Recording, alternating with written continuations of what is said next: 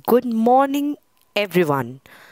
I am your science teacher. Today, I'll be teaching you chapter number 18 A Busy Month. As you all know from a word busy month, that busy means we are always doing something, and it's a month we are talking about, which is starting of the months. That is, we start our course in April, where the sun is very bright and shiny, and the heat is almost there in the air. So, it's a very sunny morning we are talking about, and we'll catch in this chapter about different types of birds' life, and to know them, we will study their nest and we will also study in this chapter that different types of their beaks and claws which helps them to live their lives. Let's move on and remember what are the points we will go through in this chapter. Most birds make nest in the beginning of the summer season. They make nest of trees between stones behind shells or leaves. Nest are made of grass, twigs, roots, wool, hair, leaves, and even cobwebs. Birds have many enemies like human beings and animals who steal their eggs. Birds' feet are according to their needs. That is, webbed feet to live in water, crooked feet to hold the tree branches, etc. Birds' beaks depend on the food they eat. Animals and human beings have teeth depending on their food requirements. So, we'll study about these things in the chapter. Now, let's just begin. These are the common words which are shown in front of you, and you will know about these birds in this slide. Now, see you have seen sparrow, you have seen sunbird, and even you have seen Indian robin. But burbits are usually not seen because they always migrate from one place to another. Now let's just know where these birds make nest. First, let's just move and know them. Let's just start. Dove. Dove make their nest in old buildings.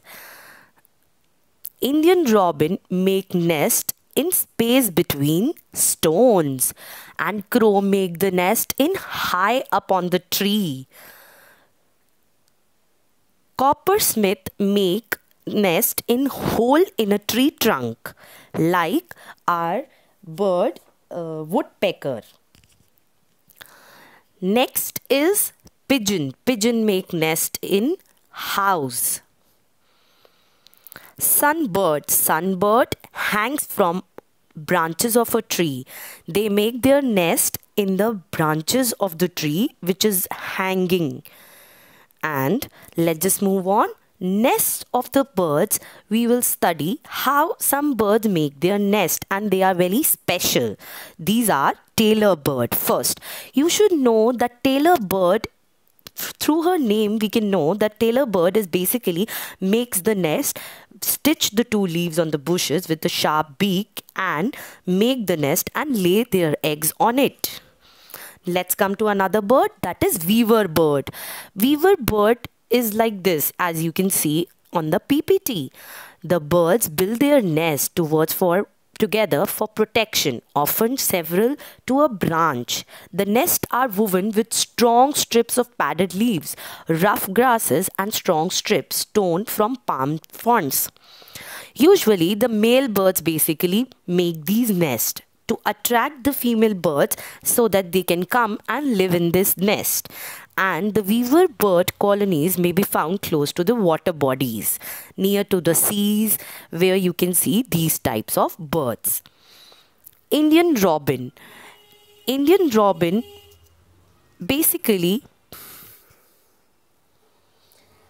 nests are built during rocks in holes in walls or in the tree holes hollow. Chicks have black down means their chicks are basically black in color. They just look black. And these birds basically make the nest in between the rocks in the holes of the tree so that they can survive. Next. Extinct bird. What do you mean by extinct bird extinct bird means they are no longer on earth because of inhuman behavior of the people.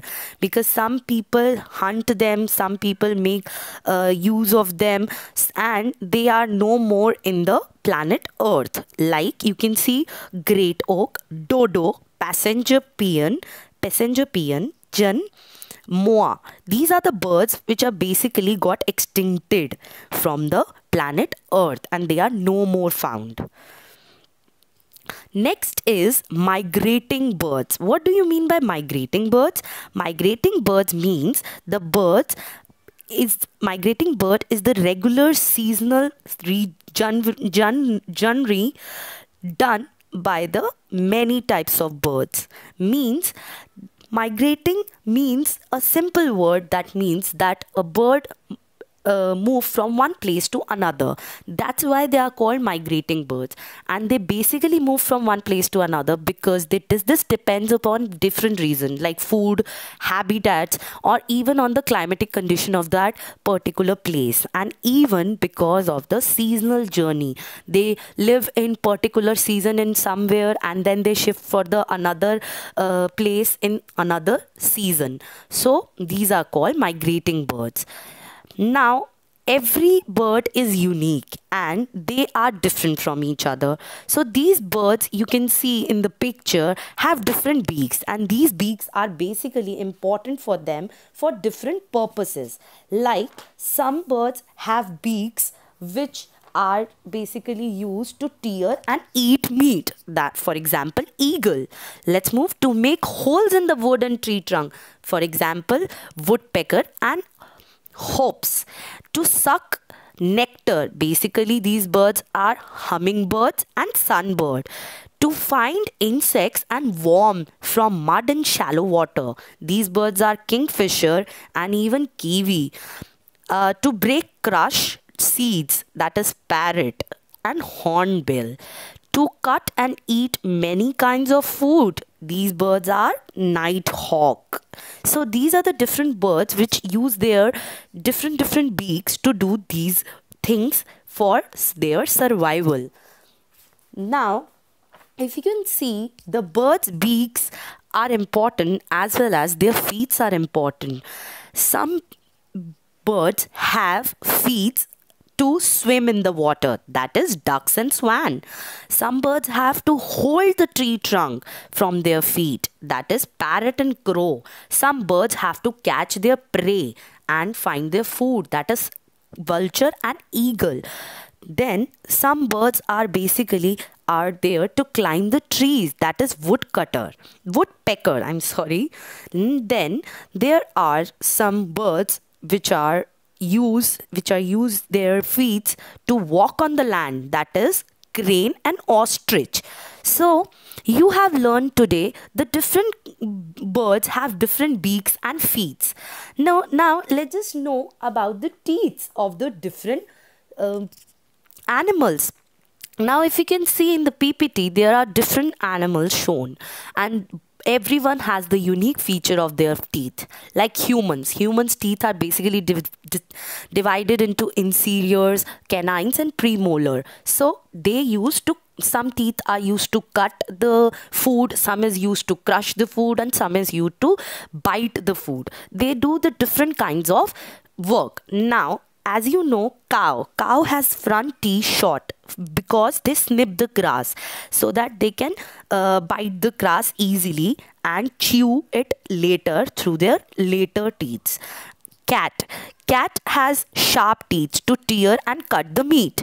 Squirrel. Squirrel has very uh, unique quality that it has front teeth are very long and it grows throughout the life because they have this unique quality. And these th these teeth are used to cut the things and these teeth become their power.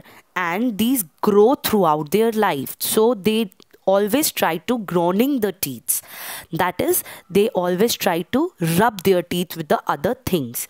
And then it's snake. Snake's teeth are very sharp and curved. And they use they don't uh, bite anyone. They basically uh, they basically swallow their food and don't eat them. They only swallow the food.